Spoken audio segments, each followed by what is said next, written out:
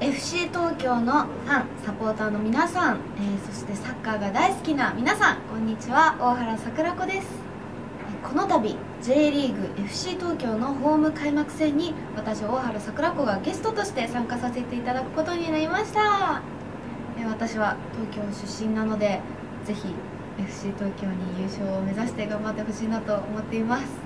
味の素スタジアムで歌うこと本当に、えー、憧れでした。えー、なので当日もすごく楽しみです。皆さんぜひお友達などを連れて、えー、味の素スタジアムに遊びに来てください。そして FC 東京と大原桜子応援してくれたら嬉しいなと思います。3月14日土曜日明治安田生命 J1 リーグ、えー、FC 東京対横浜 F・ マリノス。